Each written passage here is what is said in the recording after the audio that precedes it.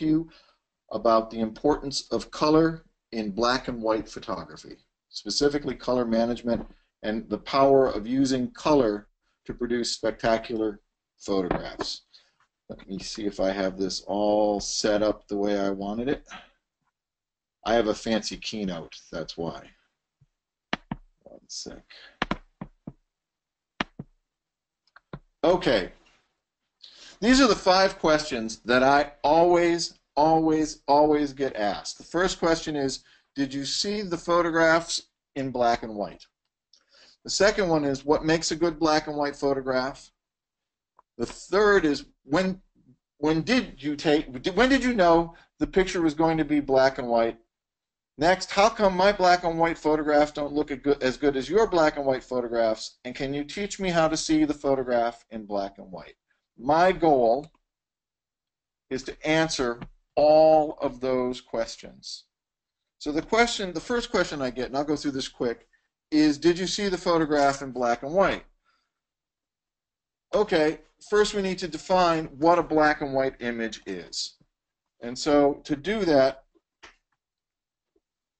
let's take a look at, hold on one second, I'm going to escape out of this, to be easier. Let's take a look at what that means. We have the film world, which is an LAB world, and the digital world is an RGB world. And what that means simply is this, is that the film world is logarithmic. Okay, and what that means is it's nonlinear. And in being nonlinear, the best way to describe that would be if I had a cup of coffee and I put a packet of sugar in the cup of coffee, it would taste sweet. If I put two packets of sugar in a cup of coffee, it wouldn't taste twice as sweet, it would taste sweeter. That's because human perception is logarithmic and it's nonlinear. That 2 plus 2 doesn't necessarily equal 4 with regards to the way in which we perceive things and the way in which film recorded things. Now, in the world of digital, we print on paper. And in that world, um, it's the world of black and white. So black and white means literally black ink, white paper. The digital world is an RGB world. So gray in the digital world is composed of equal values of red, green, and blue. So that makes gray a color. If you can see it with your eye, as Matisse said, it's a color. And so with that, what's important to keep in mind is that you're dealing with color, that you should never, ever, ever, when you're making a black and white image from a digital capture, ever leave the color world. That there are some differences in the way in which film and digital work, and that's important to pay attention to what those differences are. Because the dogma of film sometimes causes major problems in perception of what it is that you're trying to accomplish in digital we can produce a better looking image digitally than we can we could back in the silver days with regards to detail, depth of black, dynamic range, and all sorts of things that we, we want. Sharpness of the image, just based on the delta E of film, lenses, and silver paper. We have incredible advantages. The difference between the two, in my humble opinion, is an aesthetic one the like of a metallic look of paper versus one of a more pigmented ink look of paper. So if your bent is, I like the more metallic look, then that's a film aesthetic. And in digital, they're trying to come closer and closer and closer to producing substrates. See, in digital, we don't have paper anymore. We have substrates. And we don't take pictures. We capture them. And we output them onto media, which always seems a bit much for me. So um, so the, the paper that you print on is they're striving to make it more more like silver. And what I want to talk about is an overview of how to perceive and conceptualize creating a digital image from a color capture. So let's take a look at that. As I said, human perception is logarithmic, therefore it's nonlinear. In a non, in a non-logarithmic world, and therefore a linear world, if you had that same cup of coffee and you put a packet of sugar in the coffee, it will taste sweet. If you put a second pack of sugar into the coffee, the cup of coffee would taste twice as sweet. Now, that's important because that's predictable. And because it's predictable, an RGB color space is easier to work in than an LAB color space. And that we do things differently in digital. For example, the zone system for exposure is not as necessary in a sense as it was with film, where you would move things forward and backwards based on how you would develop it and how you would expose it.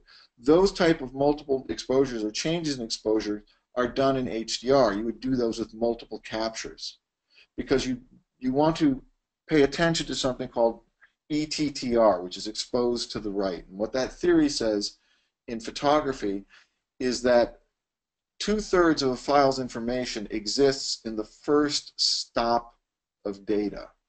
So to underexpose an image means that you potentially are clipping a lot of data. So you're just exposing for shadows at that point in which you would add into the picture, or you're exposing for highlights, which you would add into the picture. That's the realm more of high, di high dynamic range photography, whereas a zone system, you would pick where you wanted zone 5 to fall, and then you would expose and develop, overexpose, underdevelop.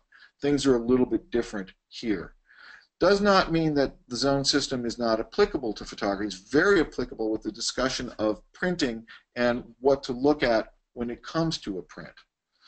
So the way that I like to look at a black and white image in a digital world is I like to call it a chromatic grayscale because equal values of red, green, and blue make gray.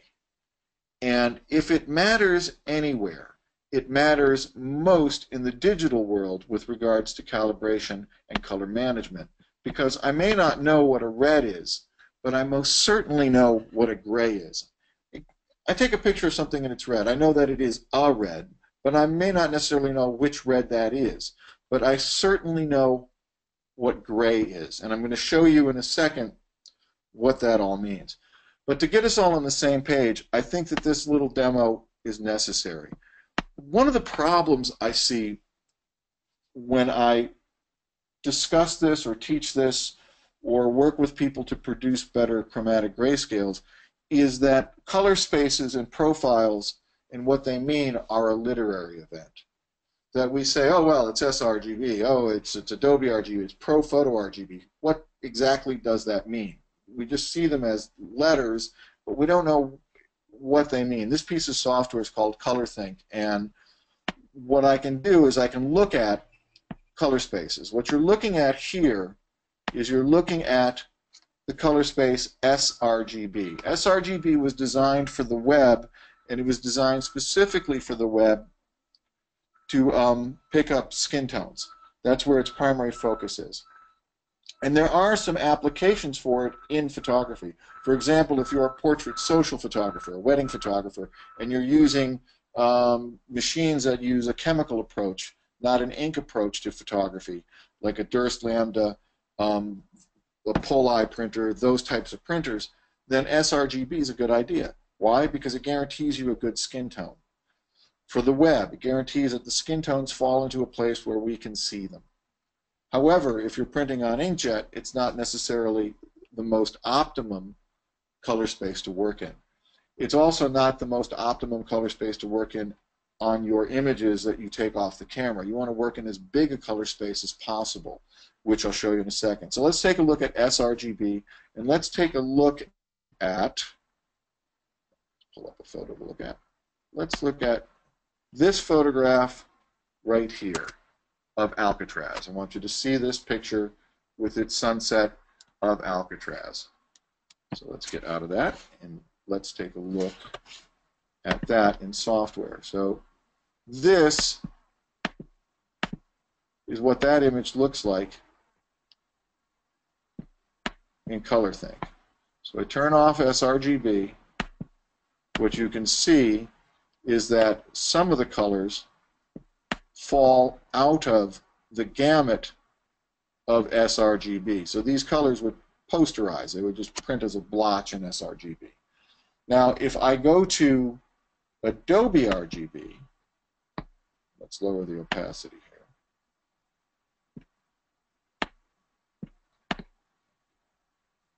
Even Adobe RGB is not big enough for some of those colors. Now, if you notice, Adobe RGB shares on two of the three tri-stimulus values a great deal of, of information. On the red and the blue part of it, for a good part of it, it shares the same part. It isn't until we get into the mixture of green into this that what happens is that the color space truly expands. So let's go to ProPhoto RGB. Now, ProPhoto RGB pretty much contains absolutely everything that that file has, except we have a problem. And the problem is that there is no printer that can print ProPhoto RGB. So what does that make ProPhoto RGB in your workflow? Why is it important? And why does this matter for black and white images? Because let me show you what a black and white image looks like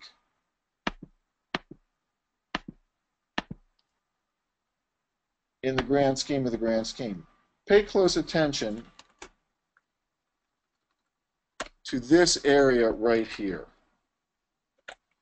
So let's look at our black and white image. You see how I have something happening there? So basically all of the image data that is left, the colors of this image, fall on the neutral axis, the L axis.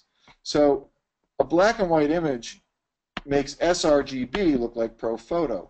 But why do we need, and let's take a look at that image so we know what we're talking about.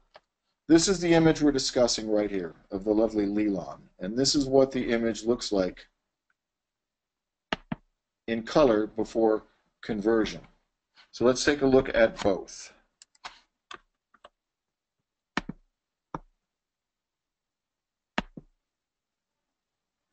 This is the color of the image that produced that black and white image. And if I put it in sRGB, for the most part, this image fits in that color space, which would make sense because it's a skin tone image. Now, why do I want to work in ProPhoto even though I know that I'm going to be potentially printing in a color space smaller than that? The reason is simple. It has to do with one of the if you get anything out of this webinar, please take note of this. Um, this is one of the few written in stone rules that we're not at a pay grade to change, and it's this. All artifacting is cumulative and may be multiplicative. And the reason why you want to work on your images in 16-bit ProPhoto, knowing full well that you're making a chromatic grayscale image in which when you're done you will have abstracted all of the color out and leave, you will remove the distraction of the color and just leave the abstraction of the image. And so that all the color will be removed out, is that you want to minimize and negate artifacting. You want to minimize accumulation and you want to negate multiplication, where the artifacting multiplies on itself. Because the color space is so big, the artifacting falls in areas that the printer cannot print, that the monitor cannot show. And so the goal is living in the world of 2% when you're working on an image. And what that means is if it gives me a 2% quality increase, I'm going to do it. So by having multiple layers in an image instead of trying to do everything onto one image, because what that does is it negates multiplication. That I'm not cooking things in and then multiplying and cooking that in and multiplying that.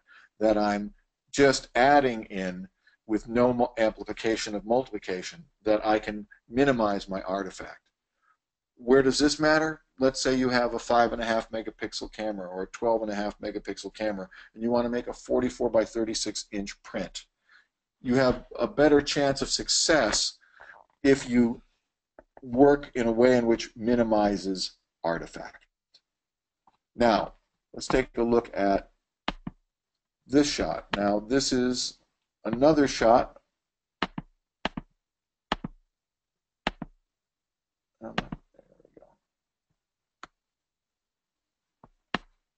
Oh, of my boy in Peru.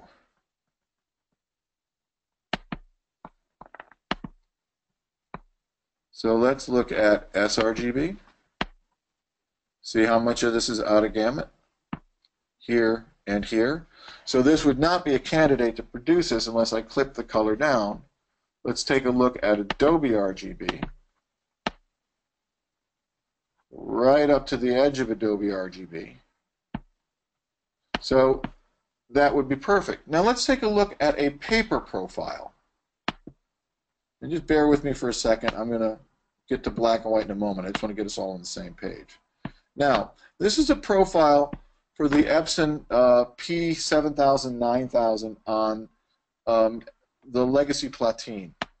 And what you should notice is that the profile, the printer, is capable of printing colors bigger than Adobe RGB. So I can produce colors that I can't see on the monitor, on my Adobe RGB monitor, which will change the way things look. But ProPhoto can contain that. Okay. Where would you want to do that? I mean, I want to print, for skin tone, I print in Adobe RGB. This is the way that I work. And in nature, I have a tendency to produce images in ProPhoto RGB if they're color. And the reason why I do that is because nature never is as real as we saw it. We tend to always push color a little bit. Sunsets tend to be more sunset than sunset. So with that, I'm going to use the advantage of the profile and the advantage of the color space. And with regard to people, that color has to be very color accurate. I will tend to use um, Adobe RGB when I am printing inkjet, and if I'm going to go to Polai or Durst Lambda or something like that, I will tend to make sRGB, and when I go to the internet, I will make sRGB. This is important to understand, that color spaces matter and that color profiling matters, that having the printer profile produces the most optimum print. For me, the goal is always the print. So let's take a look then at, I'm sure many of you are familiar with this chart. We have to come up with a definition of what a chromatic grayscale image is. So let's start. Chromatic grayscale image has a white, a black, a middle gray, and a grayscale ramp in between. So that it goes from black of paper to white of paper, gray all the way through to middle gray. So we have a white, a black, and a gray. Now, this is CMY at 100%, and this is RGB at 255, 255, 255. Here is the big difference between film and digital. And it will sound like kind of like Groundhog Opposite Day, the way I describe this. If I shot this picture with film, all of these colors would be different grays. But if I shot equal values of red, green, and blue digitally, and then made it chromatic grayscale, all of these colors will be the same gray. Let me show you. Let's create a hue and saturation adjustment layer, and what we're going to simply do is this. How about that? We're going to misbehave.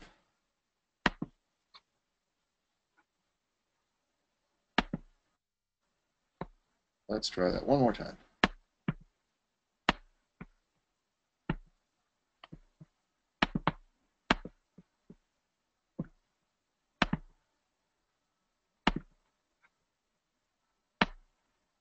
There we go. I've removed all of the color out of the image. That's the first way we've ever done a black and white, right? Everybody says, oh, just take all the color out. That makes it black and white. What do you see happen here? Is that all of those colors that were different are now all the same gray. So what has occurred is by removing 100% of the color, what we've accomplished is we have lost one point of density. That, they, that we've lost one point of density, and in that one point of density loss, lost two-thirds of our information in the photograph. Why does this matter? Let's take a look at the lovely Leland.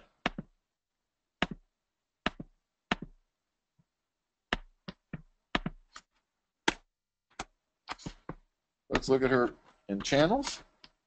This is the red channel. By our definition, does it meet a black and white image, chromatic grayscale? It does. It's got a black, a white, and a grayscale ramp all the way through. Now, is this different than that? Yes. That green contains the mid-tail, mid-tone structures of an image, whereas red contains the upper end of contrast, the creamier ends of the skin tone. And then if we look at blue, blue is the lower end, the darker end of contrast. So this is different than that.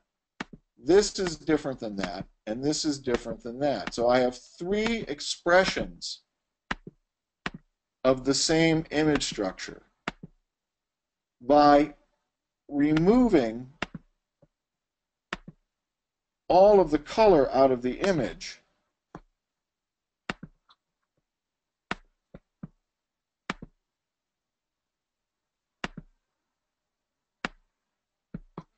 what happens is I I get a chromatic grayscale, but that's a blue channel, that's a green channel, that's a red channel.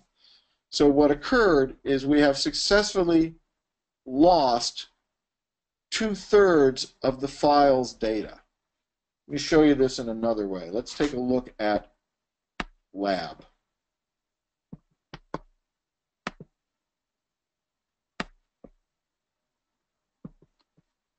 So if I come in here and I go to image mode, lab color, you should see absolutely nothing happened.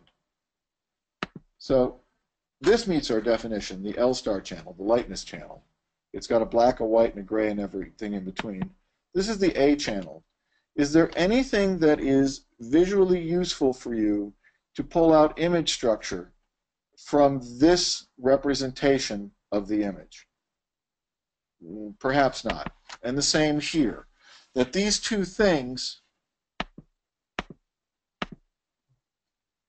are not useful. Now, look at this number down here. Okay, 17.1 is the file size, megabytes. When I remove the two color channels, what happens is I lose two-thirds of the file's data. What I am left with is just the luminance channel. So what happens when you remove the color that way and not use it is that you dump two-thirds of the spectral relational data in that file that you can use. That you lose two-thirds of the way in which the image captured was captured of image data. That the blue holds image data differently than the green, and the red holds image data differently than the green and the blue, and so on. So what you want to do when you're working in digital is you want to preserve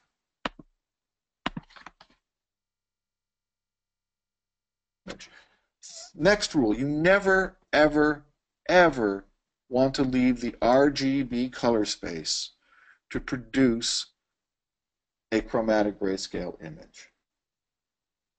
Next, and I know that this is not something a lot of people want to hear, the last place in the world that you should do a chromatic grayscale conversion is in a raw processor.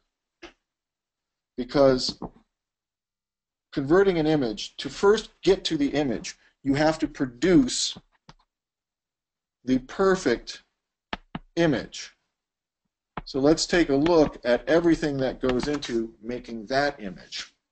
So this is our chromatic grayscale image. And these are all of the steps to get me there. So let's look at just the retouch steps so that I can make my point. This is what the image started like. This is all of the retouching that went in for skin repair.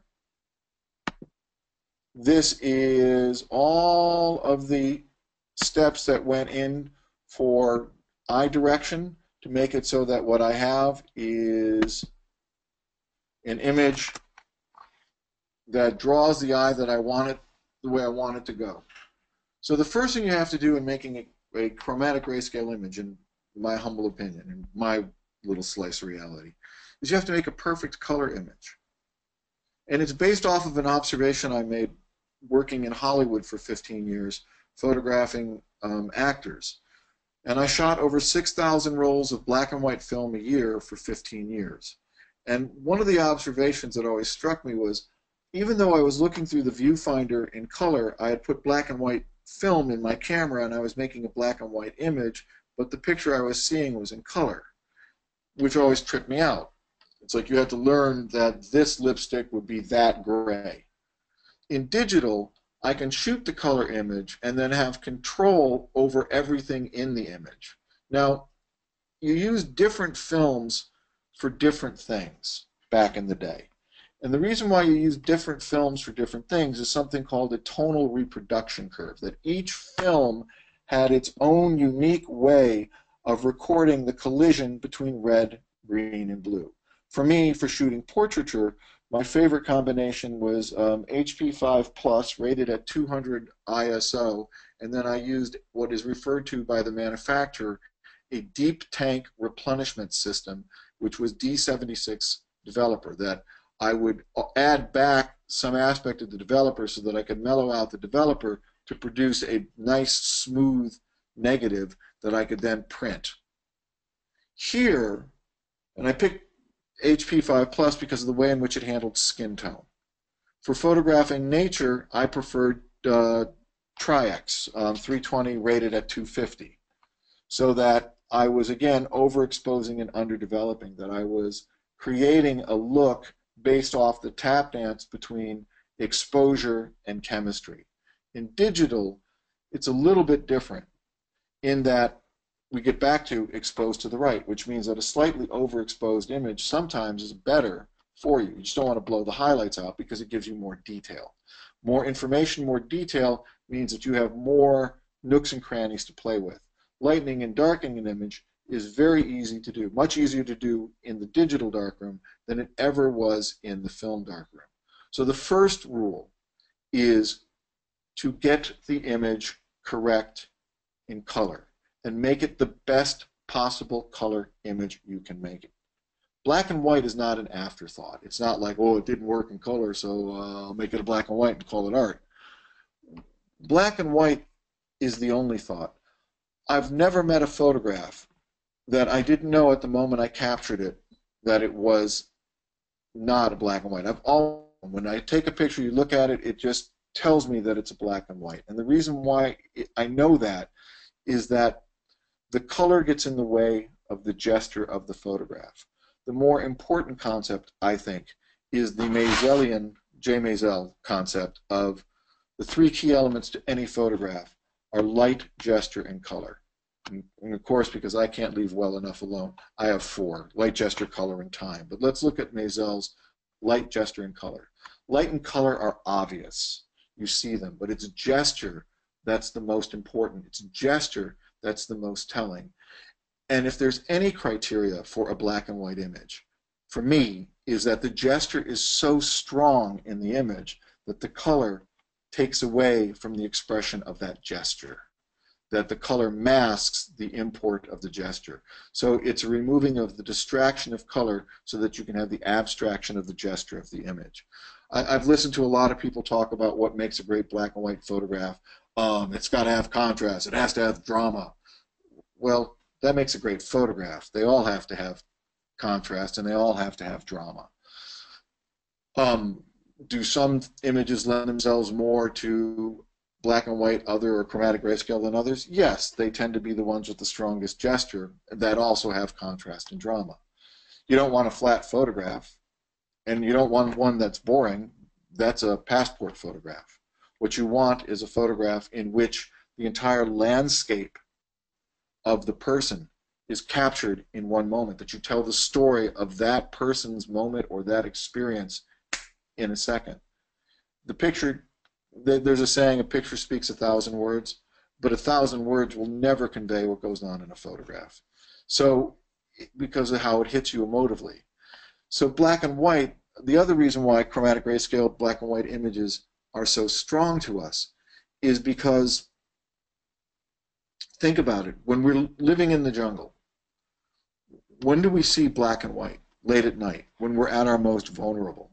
There are creatures in the jungle that can see better at night than we can. So when we're looking in our color world and we see a chromatic grayscale black and white image that attacks a different part of our visual experience and opens us up to a vulnerability that we are kind of hardwired to be when we're in that realm. That's the other reason why black and white images, chromatic grayscale images, are more powerful images. Now let's take a look at the question, and I'll show you how to do this one. Um, did you see this image in black and white? So this is the final master base image. Okay. This is what the image will look like when I do chromatic grayscale. But this is what the image looks adjusted in color. So let me ask you, do you see color that way when you look through the viewfinder? Because to be able to make this black and white image, let's do it this way because it'll be easier.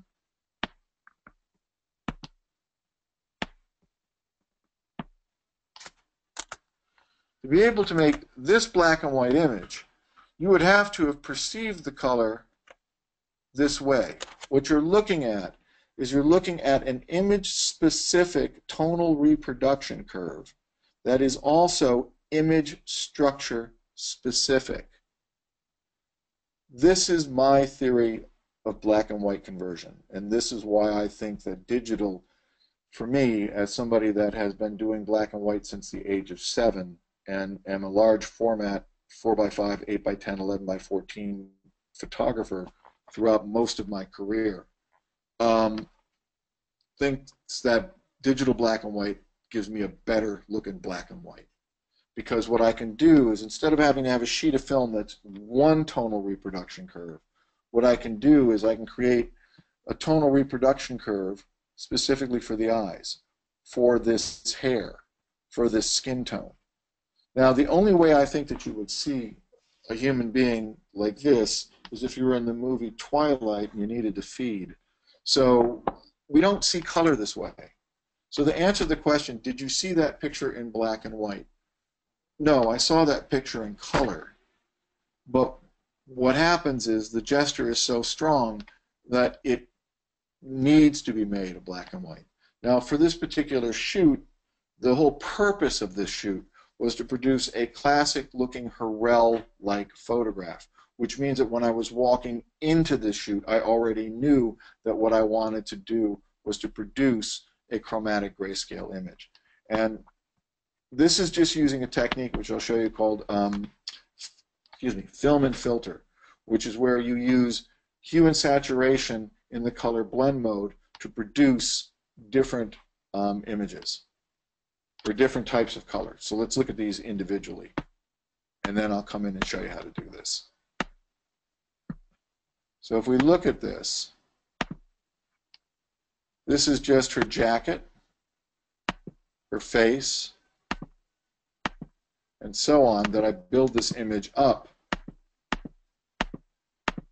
Now the way that I do this is simple, and this is going to be a, I think, hopefully a, a good demonstration to show you why one should use calibration and calibration software. Now, on all of my computers, on all my monitors, and I'm looking at my studio right now, one, two, three, four, five, six monitors. On all of them, I have i1 devices that measure the ambient light that I calibrate. I travel with a calibration device so that I can calibrate my monitor in the field. Here's why that matters. We're going to produce a white layer, a black layer, and then a layer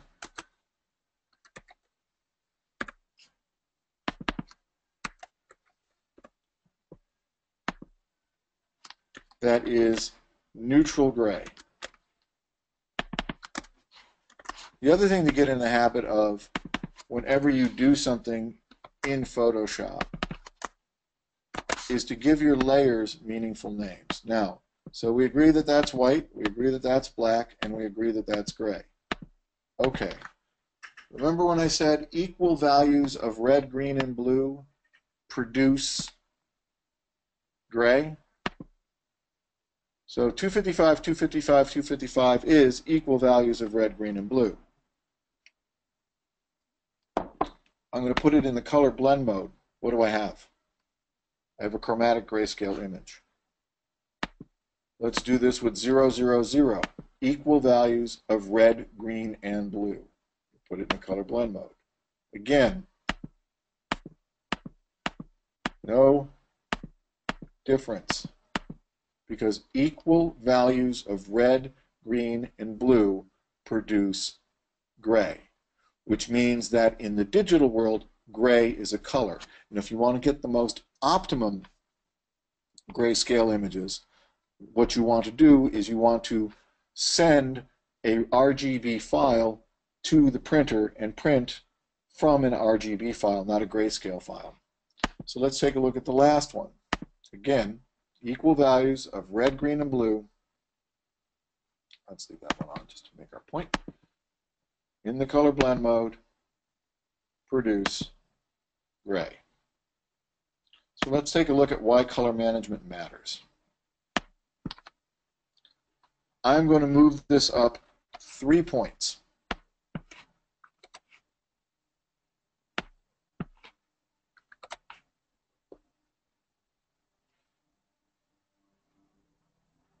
Or excuse me. I'm going to move this. Let's go back. I'm going to move the green up three points.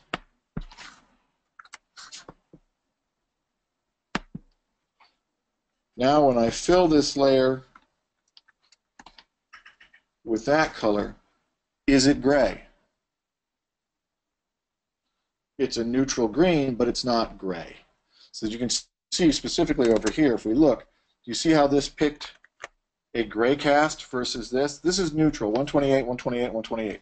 By just moving the green up three points, not a lot, I produced an image that now has a green cast.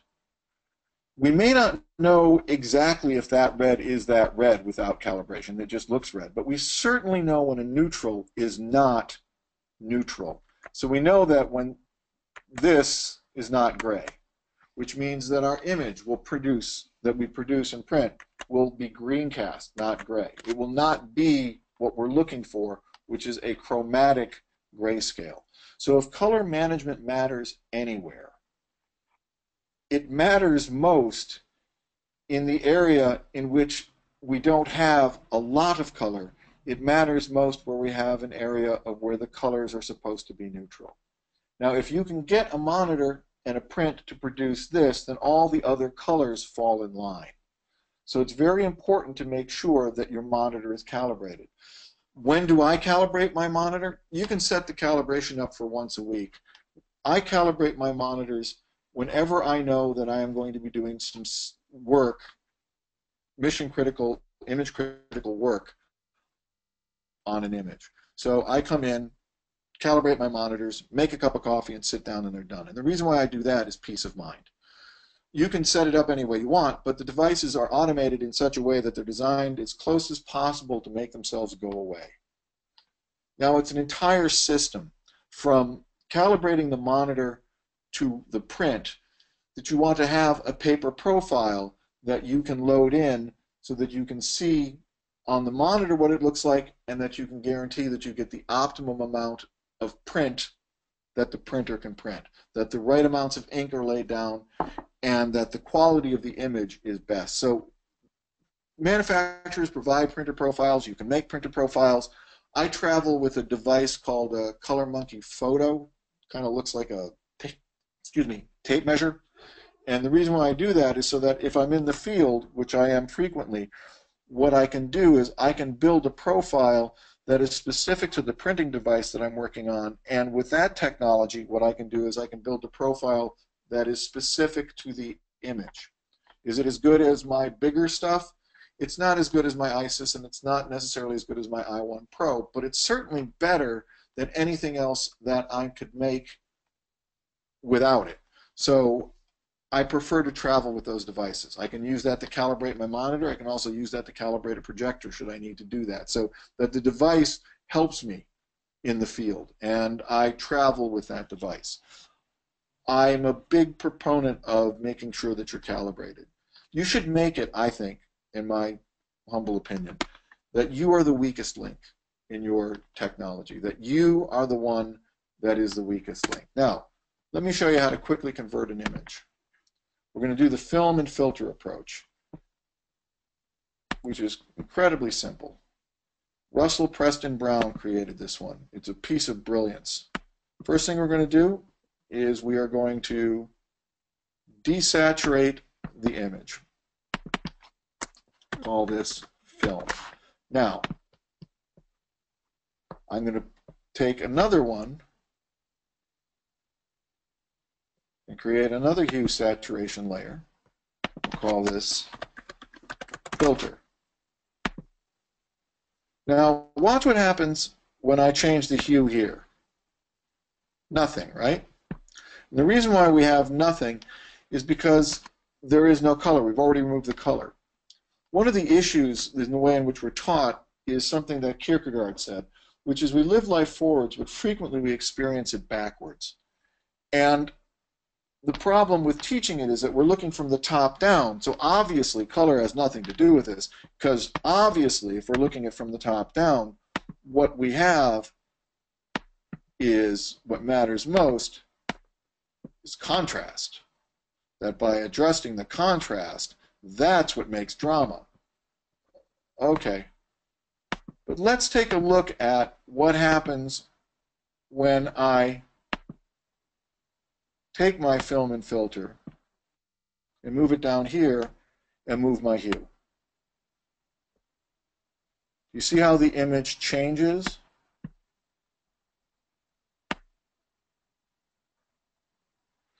The reason why that is, is that we're looking at it from the bottom up. So instead of looking at it from the top down, we're looking at it from the bottom up. And at this point, what we know is color matters by controlling the color of the image. What I can do, and let's start with filter 1.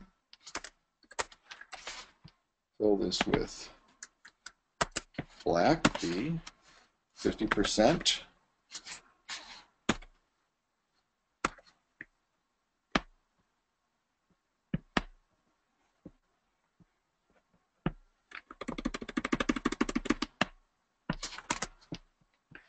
That I can come back in here and create another hue and saturation adjustment layer.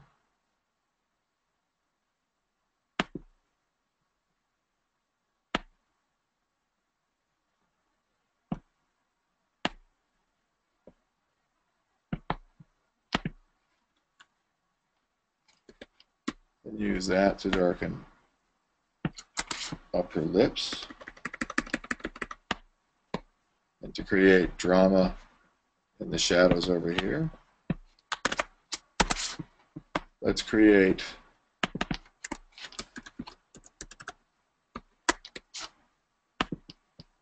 another one.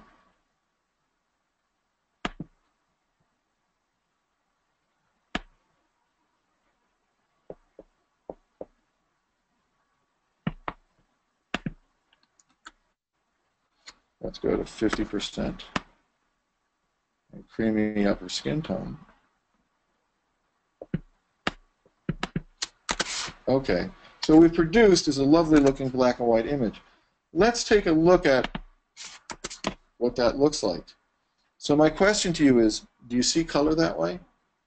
No. But by controlling the color, by determining what happens to the color, you can produce a tonal reproduction curve that is specific to the image. Basically, you can create your own emulsion in digital that is image specific that goes to the will of your vision. It's all about your vision. And having the ability to create an image that meets your vision is spectacular. we have such huge advantages today in digital. The zone system was based on off of a 10-stop dynamic range um, idea, in which in actuality seven stops are usable. In today's film, we have a 14.2 stop dynamic range. Human vision has 22. It moves up of a 100 stop scale, but it has 22 stops of dynamic range. We're approaching human vision. We have the ability to access more information. We have sharper, better images that have better color, and we have greater control. So by simply creating multiple adjustment layers that are hue and saturation, what we can do is produce an image that accesses all of the information that was captured and produce a more visually appealing image with greater image structure and greater tonality. And that is my two cents worth. And if there are, and I'm sure there are, um, many, many questions, the time is nigh.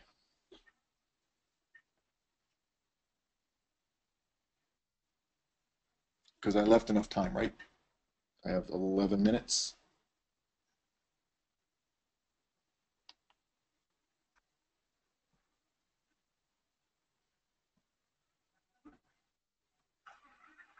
Okay.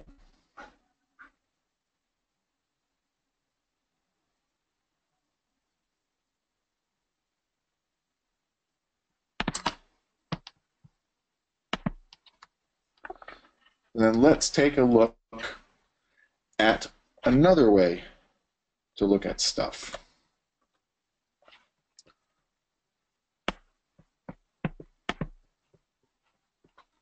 Let's go back to this image and let's take a look at, now let's introduce just a curve into this, where we're going to use just curves onto the image. There we go. So now that we have this, we can do some more fine-tuning with this image with just curves.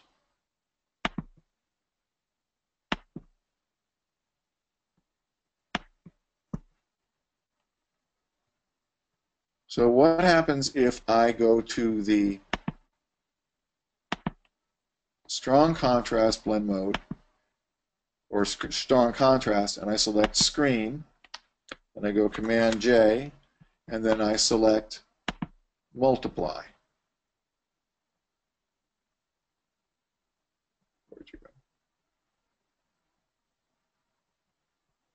There you go. Screen doubles half, doubles or screen halves the density multiplied doubles the density. So we're going to go. And we're going to go screen. Okay. Now, what I can do here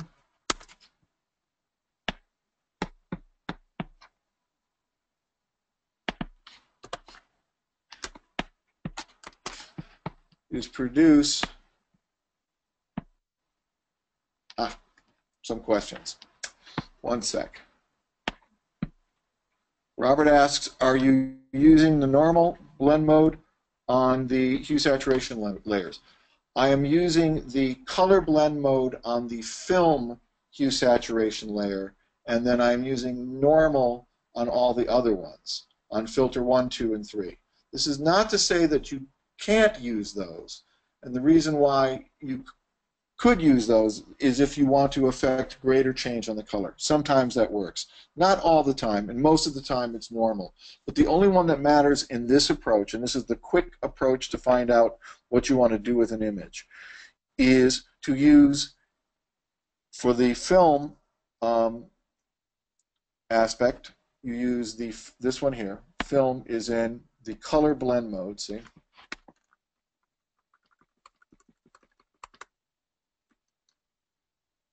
And then the rest of these are in normal. But let's take a look at what happens if I switch that from normal to color. Do you see how you do get a change?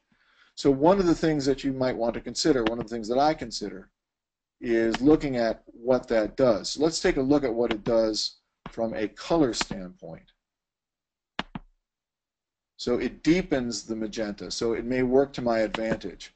The thing to keep in mind is to use all of them. All tools are open, all options. It's a street fight. How many rules in a street fight? There are no rules.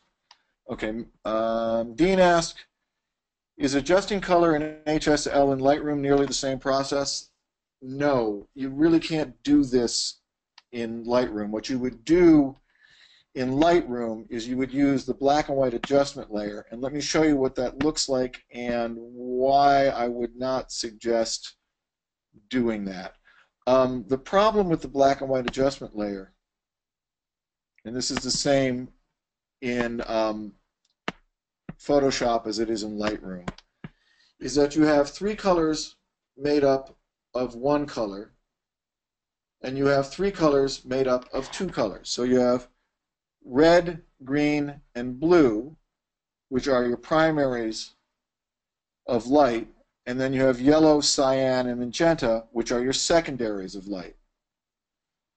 Uh, and Vicky, I'll get to the printing space in a second. So what happens here is if we're using this right here, I can adjust the red, use the scrubby slider, okay, and that's great, but the problem is that if I adjust the yellow, I also adjust the red because the yellow is made up of red and green. So in this instance, having six sliders is not as good as three sliders. You'd be better off with the channel mixer. My personal humble opinion is Lightroom is not the place to make a black and white chromatic grayscale image. Photoshop is.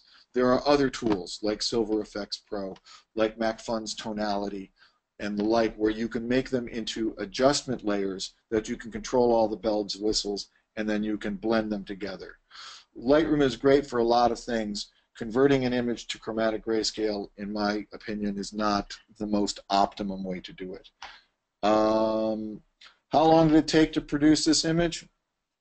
George, they take as long as they take. Um, some some images are a half an hour, some images are a lifetime. I have one image I'm still working on 10 years after I started it because I'm still not happy with it. Um, I try to make things as simple as possible, but no simpler. And each image is its own call. For me, I'm uh, I tend to be more of a fine artist these days, so I can spend more time on my image.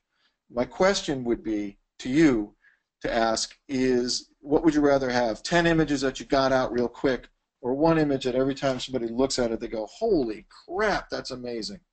So that's what I I want to do. Ah, to define gesture. Um, everything has gesture.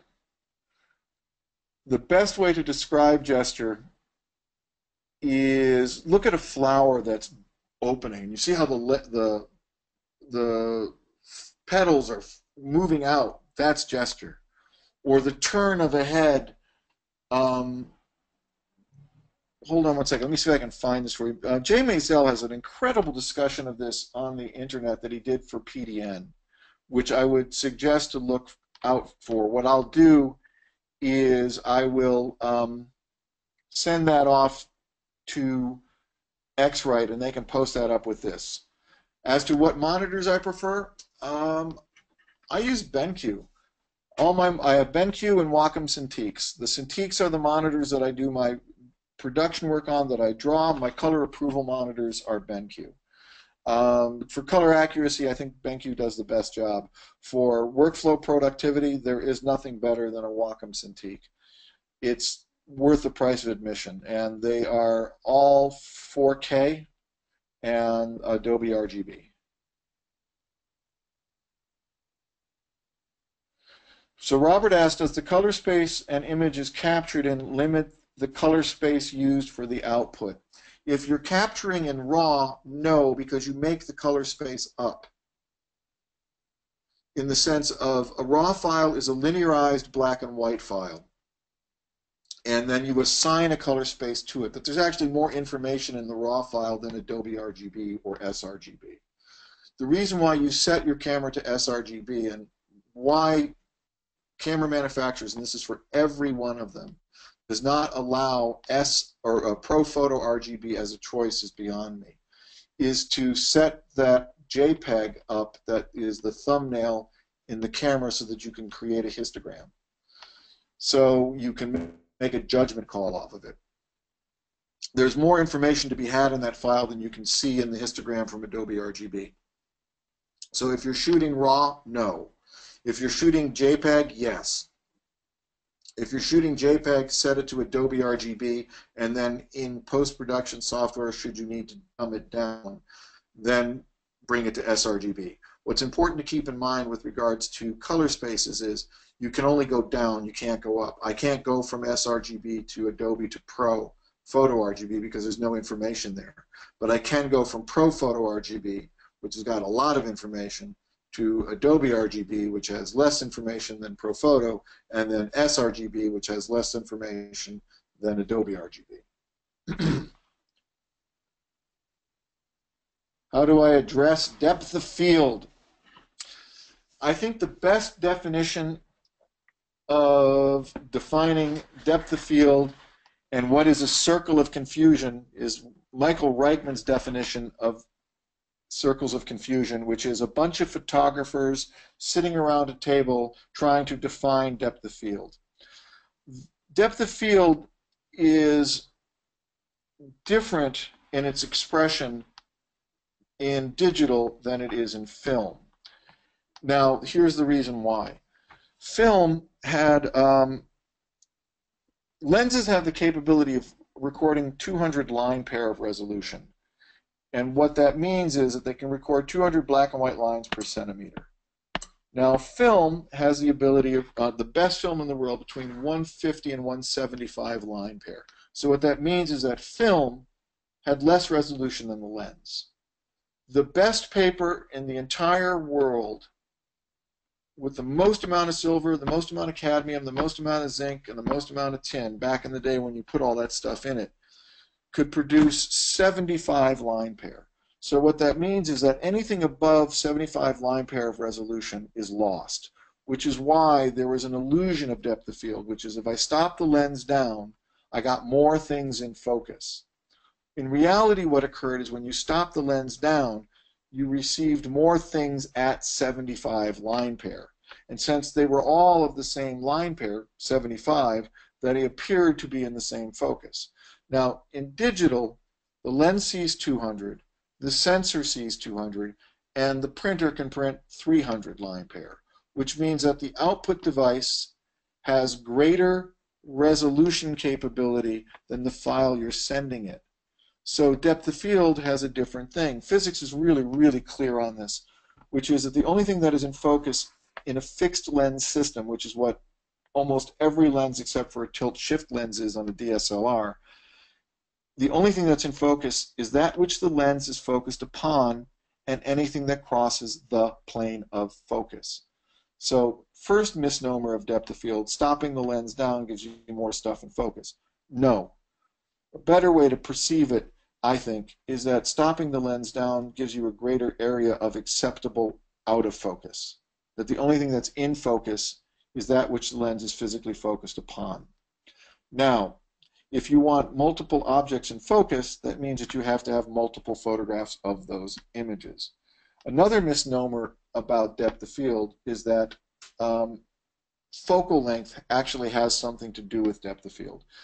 That's not correct its angle of view is what has to do with depth of field. All lenses have the same depth of field. It's the angle of view that matters. Where the perception of a wide angle lens having greater depth of field than a telephoto lens is the smaller an object is, the more in focus it will appear to be. The bigger the object is, the more out of focus it will appear to be. So keeping that in mind, the, I think the most important parts of contemplating an image at this point is not what's in focus, but what's out of focus. Because only one thing in your photograph is focus, that which is the lens is focused upon, and anything that crosses the plane of focus. Everything else is falling into the area of acceptable out of focus. That's called bokeh. And bokeh is the Japanese concept of quality of blur. So let me look at a couple of more of these whilst I'm at this. Let's see, this is just da, da, da, Michael Speak asks, this is just terrific information and enormous food for thought. On an image like this, would you ever take it into Silver Efex Pro 2? That's a loaded question. Um, I was employee number two of the company that invented Silver Efex Pro 2, and I was a photographer that was used as the test pilot for Silver Efex Pro 2. So I do hope that that answers your question as to how often and frequently I use Silver Efex Pro 2. What I want to show here, and why I choose to show you this way, is that this is a complete Photoshop-only demo, not using third-party plugins. I would recommend doing this um, I use a multiple Silver Efex Pro approach, one where I balance one for red, green, blue, and neutral, so that I can move all around. But what I want to show here is the power of what digital has in comparison to the power of film. That you can control the color aspects of the image and therefore control the image structure of those color channels. That's what's important. Um, Barbara, to answer your question, right now I am madly, passionately in love with the Epson Legacy Platine, and um, I also am a huge fan of the cold press natural. But the Legacy Platine for doing black and white images is a religious experience. It's gorgeous, just absolutely gorgeous paper. I know I skipped somebody else's question, but I can't pull that up, and I apologize for that. Um, so yeah, the whole thing I want you to get is that the, to answer those questions, did I see the picture in black and white? No, I saw it in color. Um, how do I? How come my pictures look better than your pictures in black and white? Because I use color to control my images in the image structure. I'm giving you basically the core secret to how I work. Um, can I teach you to see black and white? see black and white color? No, I can't. You tell me. Can you? Do you see that way? But what you can see is that if the image is so strong that it pulls you, that you can see it, that that the color starts pulling away from what you want to say in the photograph, that makes it a candidate for color. So what are you actually sending to the printer? Something in grayscale or 16-bit? Um, I'm sending it 16-bit, and because here's here's the crazy. When I photograph pictures of people in full color, I tend to print those Adobe RGB. Why? So that I can guarantee a consistency in skin tone.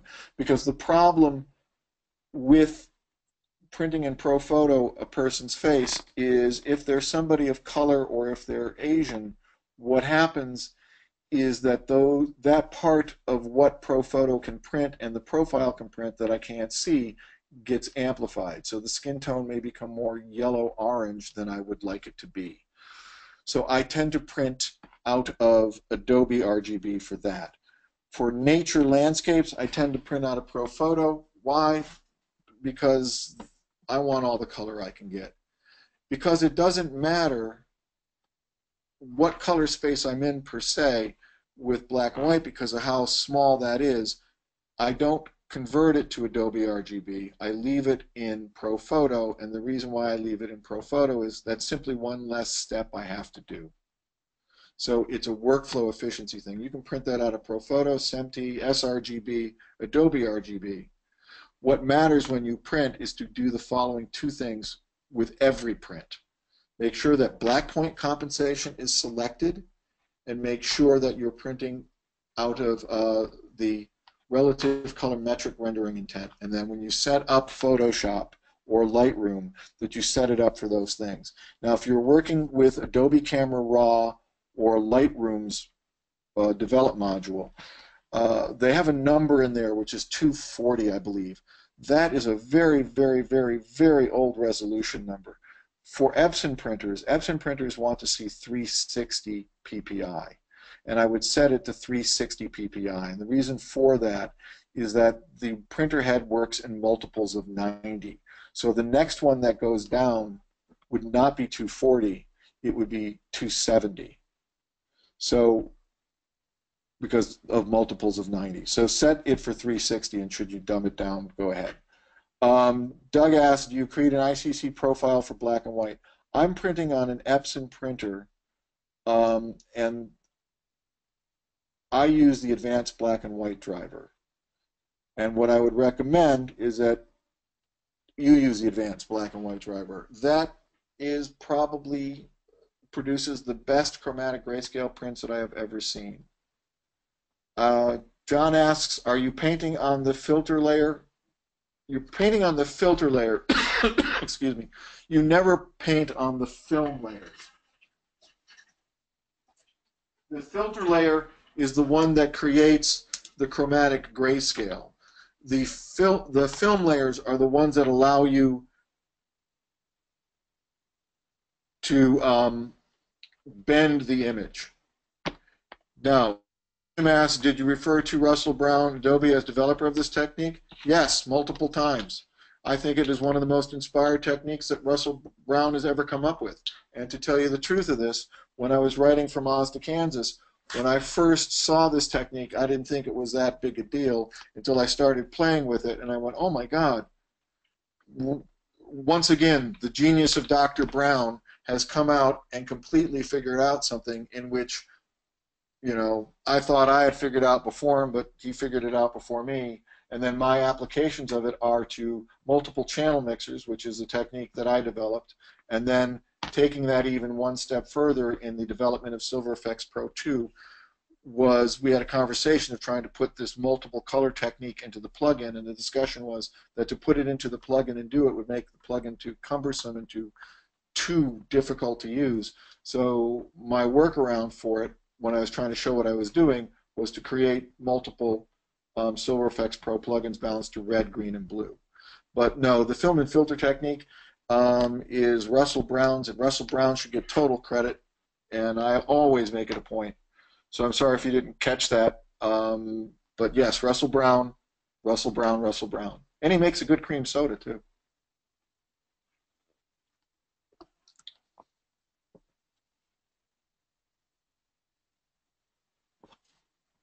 Always glad to help. So yeah, if you have any questions, um, email them to the webinar and they'll get to me and I'll be more than happy to answer them. I hope this was helpful. Um, black and white is my passion and if you love black and white at the level I love black and white, I am always at the end of an email to help out because I think that that is the most beautiful way to take a picture. So thank you.